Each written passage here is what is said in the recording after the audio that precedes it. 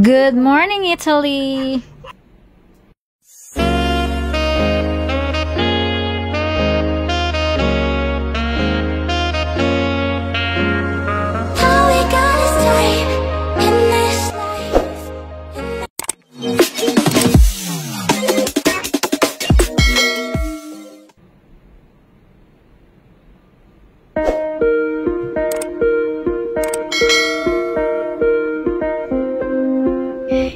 So we just arrived here in Porto de Civitavecchia, here in Italy. So this is our first day of quarantine and hindi ko pwede ipakita sa inyo ang room.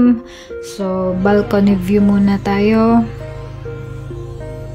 Makikita nyo naman, ayan, ang daming nakadak na ship and that big ship is Norwegian Epic.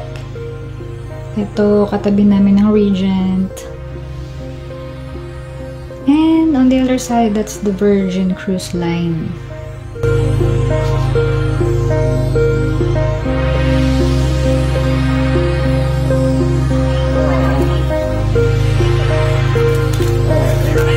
Dinner.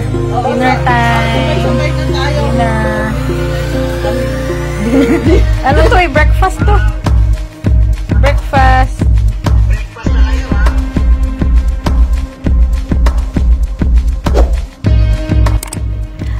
Dito na nagtatapos ang ating video. Maikli lang to para madaling may upload.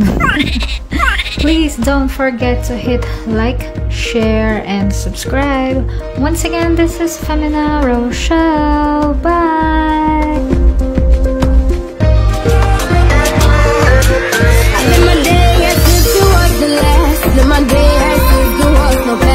Doing it all night, all summer. Doing it the